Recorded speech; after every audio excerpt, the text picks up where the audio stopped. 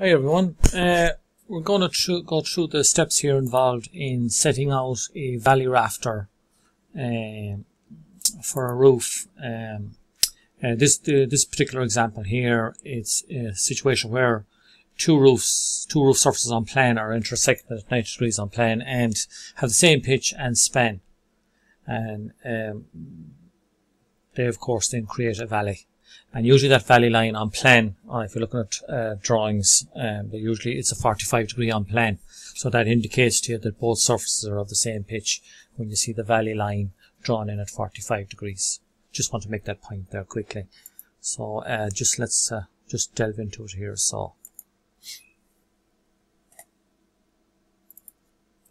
So first step is to, to create a site square and basically um, a site square is just two rafters, two straight rafters held together to form an L and the angle of that L uh, should be 90 degrees. So this is animated here and using mathematics, using the 345 method, uh, you'll be able to um, get that those two legs to be at 90 degrees to each other. So if you have three units this way and four units this other way, then when you bring this to five units here, then you know you have a, uh, a right angled triangle. That's basically the message that's been um, presented here. So, um, first thing we need to establish is the rise of this roof that we're, uh, we're working on. So, hook your tape from outside the wall plate to outside of the other wall plate, take half of that, and that is half the span, and use that formula that's written here. Now, use that formula there, that'll give you the rise. Up, up usually the shorter leg of the square. Now we need to mark the, uh, going off at 90 degrees to that, which is the valley run. So to get that, um, we'll have to um, use this formula that's on the screen here, which is um, half the span uh, multiplied by the square root of 2 and hit the equal sign and that would be our valley run and that um, would give you that other distance there then. And uh, just want to mention in passing that um, the square root of 2, it's a quick way of getting the diagonal of a square. Uh, so if you have a 3 foot by 3 foot square, well, if you multiply 3 foot by the square root of 2, you will get the diagonal of the square. But it only works on the diagonal of a square, not a rectangle. So just bear that in mind. Okay. So continuing on, that's been marked there now on the leg of the square. And uh, that's our valley run. Um, so step four, uh, mark the valley tail run on the site square, which is the next thing it has to do. And next thing, there's a handy formula there again. And uh, Again, this formula is um, common tail run multiplied by the square root of 2. Uh, now, the reason the square root of 2 works here is because if you look at the uh, common tail run on plan in relation to the valley tail run, it, it, they both run at 45 degrees to each other. It is the diagonal of a square. The longer line of the, or the longer the, the diagonal would be the valley tail run then of that square if you really think about it. So that's what that's the formula is based on really, you know. Um, so yeah, you measure in there with my tape and mark that away. And there you go. And now I've drawn a pencil line here, a very faint line right here, and we'll be, we'll be holding the back of our rafter in line with that, and we'll hold the corner of our rafter to this point here, and we're using the outside of the square. So that's the that's the right angle triangle we're dealing with, the the one that contains the outside of the square and this back line here. So that'll come into play here. And now you'll see the hip rafter coming in. Uh, so we'll place the hip rafter on the site square now. And um, yeah, here we go. And uh, there's my bevel coming up. So you swing, you'll be swinging the blade in line with the rise leg of the square. And once you have that angle set there, you've set to up your, your plumb cut. And that same plumb line then will occur down here and down here. It's the same angle. So that'll be animated here now, just to show you. So you set it, you mark it, and then you slide your bevel down the back of the valley and then you uh, mark it again and uh, you come back down and you get the uh, fascia cut for that valley. These are only initial lines. There will be deductions have to be made so afterwards. So I'm doing the initial lines in white here. So um, uh, deductions at the valley tail is the next um, um, animation here. So um, so there's a fascia cut and there's a heel cut that we have to look at. So I'm going to zoom in close here uh, to where the site square and the uh, rafter meets. So here you see here, this is our site square with the side of the valley rafter here, and this is the plan view of that same valley rafter now, and there's the corner of the wall plate in orange that is coming over. I just drew, I just drew the two side by side so you can correlate the two views and you see where the deductions are coming from. So I'll just animate them there for a second. And you see that little uh, red triangle that just moved there. It was here. So that that corner was in line with the inside corner of the on the wall plate there. So you can see why there's a deduction. We're going to deduct from this line back half the thickness of the hip, it's, or sorry, the valley itself. And um, and you can see that's why because that would be the distance from there to there is half the uh, the uh, valley thickness. Uh, so we'll just play that on there and you can see what sort of makes sense there is being animated through you know you can see. So that's the new line now you've drawn that black line. That'll be the new line the new heel line and that will form part of the bird's mouth. And you can see the white line has become redundant there now. Uh, so um, the next thing is the fascia cut line here. So again, that was offset from there back to there, half the thickness of the hip itself. So, and uh, here's just an animation to illustrate that. Yeah. So, so um, here I just popped into quickly the fascia detail. Uh, often you'll see on drawings of hips that they'll sorry, not uh, uh, valleys, I should say. I keep mixing my hips and valleys up, anyways. Um, they'll make a corner, they'll make a V, like a bird's mouth here down at the fascia, to take in the corner of the fascia as it returns around. But I tend to just go straight across, with set the skill at 45 degrees when I'm running it up this line here. And tilt, have a tilted 45, make just make a full cut, and let the fascia fly on. I think it's a stronger, better detail. So I'll just animate here what I'm really basically talking about. Um, you can see the fascia coming in there. That's the top edge of the fascia you're looking at. And then you put in a lat in line with that red line that I brought through. I'm just drawing right now out from the center of the top edge of the valley. And um, uh, there is my lat in place. And now there's the returning fascia. So that's the type of detail I have down there, you know. So just want to clear that there. So uh, yeah, this is the next thing here. Uh, we are going to uh, mark the valley rafter as um, seat cut. So the we have the back line of our bird's mouth here already, but the opposite to that, which is at 90 degrees, will be the seat cut line. So uh, that is determined by the upstand here taken from the common rafter. So you'll already have your commons cut and you'll take this distance from here to here and make sure you come down that distance from the back of your valley down onto here. So uh, I just play that on there now and you'll see what I'm talking about basically. Uh, that's that distance coming across onto there. That then determines where the seat line of our bird's mouth will be uh, positioned. So uh, basically you take a bevel, swing the blade of your bevel so it lines up with the underbelly of the valley as um, shown here.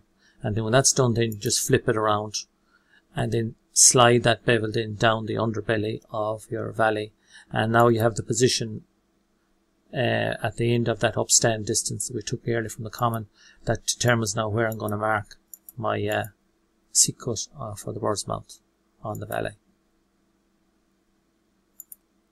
So um,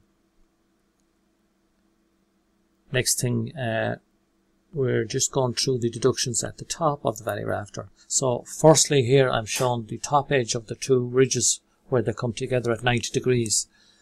And um, I'll uh, I'm just going to um, superimpose uh, the site square against that scenario as well here now. So we'll, so you can see how they relate to each other. So here's our we're zooming down onto the down onto our site square and I'm just placing the two uh, top edges of the ridge there just to show you where the deductions are coming from at the top.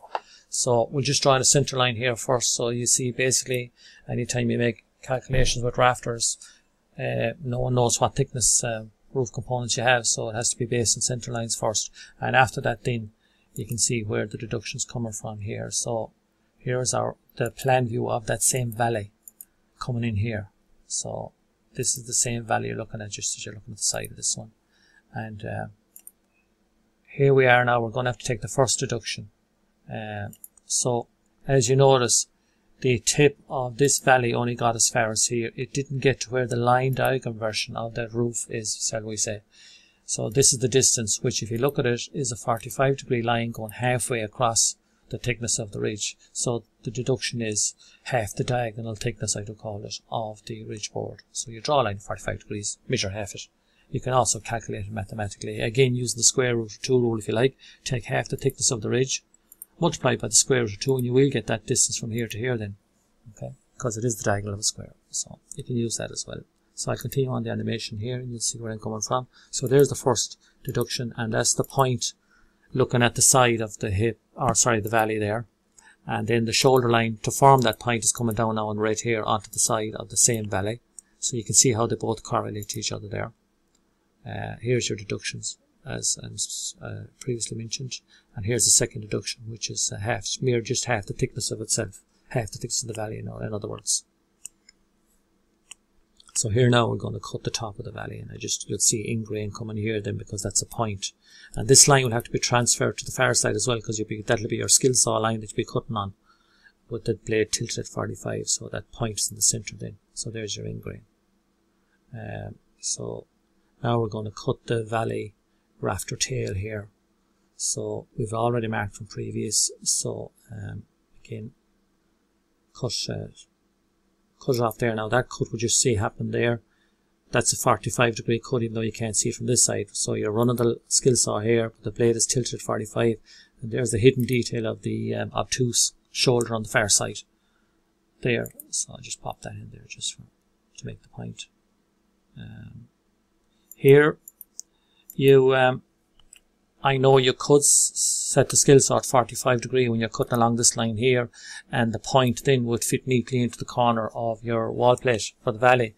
But in practice most people will just leave the skill saw at 90 degrees and just cut that line as you would a regular bird's mouth so it's up to yourself. Uh, here we're determining the valley tail soffit cut. So again you go to the length of your fascia cut on your common rafter whatever that distance is on the side of your um, valley, you'll have to keep that same. You'll have to keep that same distance. Um, sorry, out here, yeah.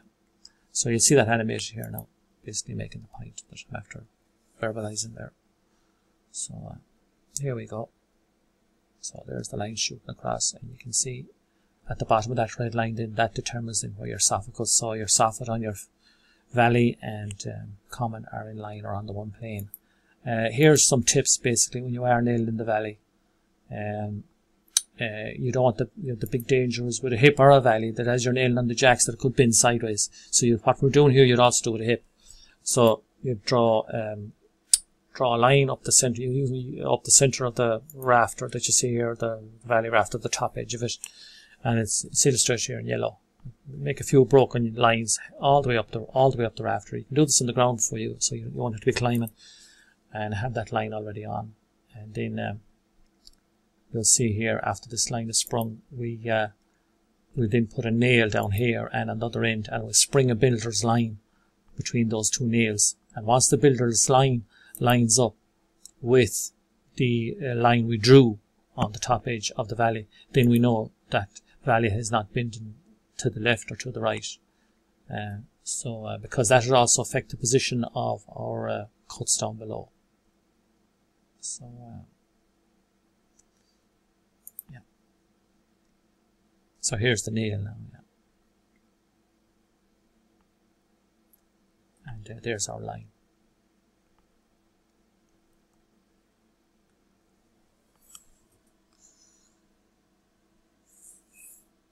Just, uh, yeah, making a point here that uh, sometimes you might drop in a hip or a valley then you might find it drops a bit shy on top.